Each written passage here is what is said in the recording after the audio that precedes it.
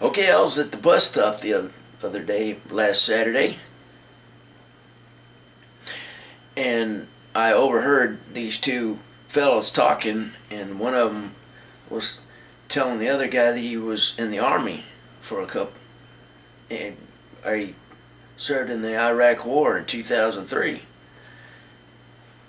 and um, and it, and I could just tell the problems he was having and and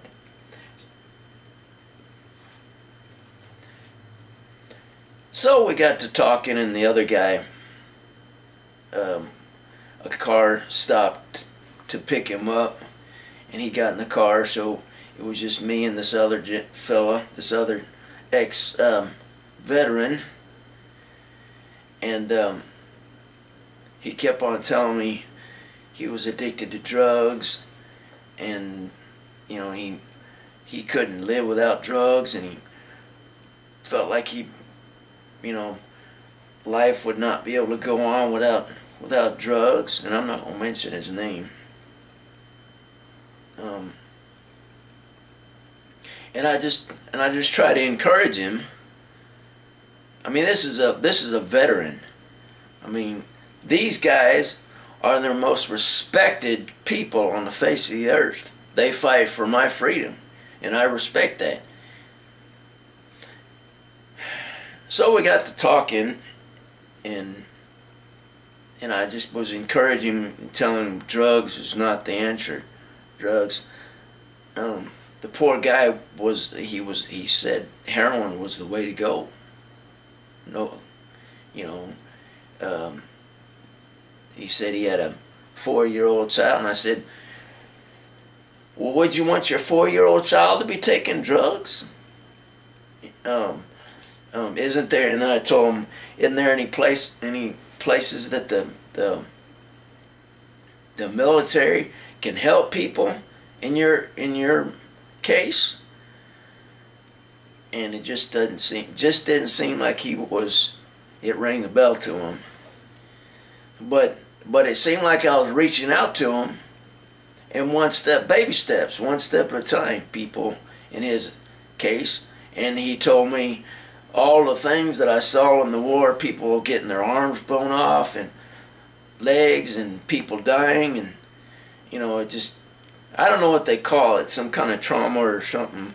Maybe if there's any veterans, ex-veterans that are watching this video right now can kind of explain to me what I'm what he's going through and why he is so addicted to drugs. But he had a wife, he's divorced now, and he had a four-year-old son. Or, and I told him, would you want your four-year-old son to be on drugs? And he said, oh, no way. And, and, and when I said that, I knew I was kind of getting to him to, to kind of realize the, how bad it is to do drugs. And he understands that he has to live on it. He even told me personally, if it weren't for drugs, I'd commit suicide. But I don't think it was him stating that those those facts, but I think it was just the drugs that was because at the time he I could tell he was not just high, but you you can tell when somebody's going through heroin withdrawals. And, and I guarantee it, this guy was going through them. That stuff is dangerous. And, um,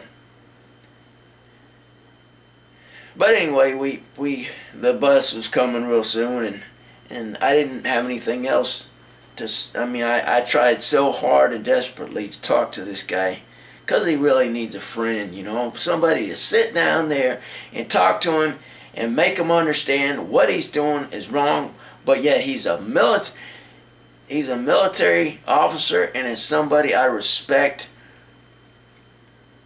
is the most respectable person. He is a, a person like that is a is someone who hey lets me roam in my country free from anything else. They they they they're the best and we should respect that. But anyway, the bus was bus got to the bus stop, and I told him, "How about I get you a, a round trip on the bus?" So I bought him a. a actually, he asked me. He asked me for some ten dollars in change, and I told him I don't have ten dollars in change, and I'm sorry I don't give money to strangers, because I you just don't know what they're gonna spend the money on. But I get I I got him a bus ticket or I got him, I bought him a bus round trip. I just didn't buy one ride. I bought him a round trip. Um, and that made me feel so good. He was so grateful for that.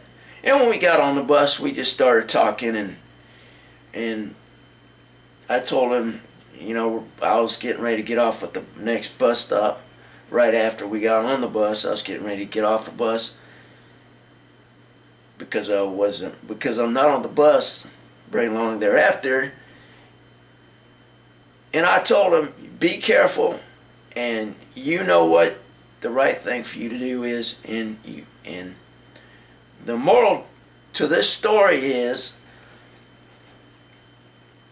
this I I bought I I just was so it made me feel so good that I was able to reach out to somebody like that. Because somebody who in that position needs a lot of love and a lot of and someday hopefully and I pray for that guy. I'm a Christian I'm a devoted Christian and I pray for him that night and hopefully God will do something for him and that was my story for today and anybody who watched the rest to the ending of this movie this video clip. I appreciate it, and I hope you have a wonderful day. Sunday, because I'm going to post this up on Sunday. Good. Y'all have a, all right.